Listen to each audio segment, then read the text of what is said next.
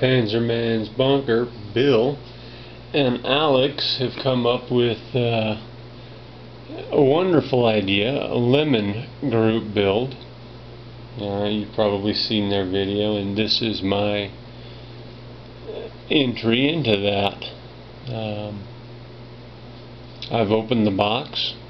I've even glued a couple of pieces together, even though that there were no tires in the box and absolutely zero chrome. None. Not a Zilch. Not even a broken down half a tree. Nothing. So, there it sits. This is my entry. I'm going to try and do a nice paint job on it.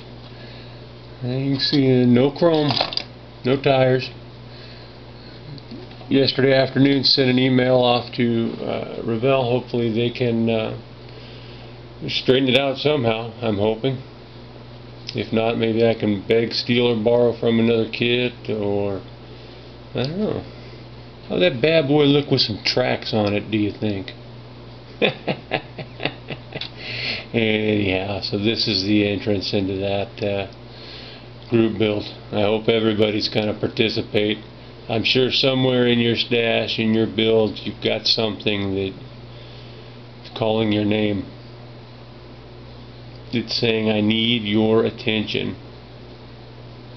So, what's it going to hurt? Give the model what it wants. Your attention. Best wishes, guys. Aaron, hope you're feeling better, buddy. See ya.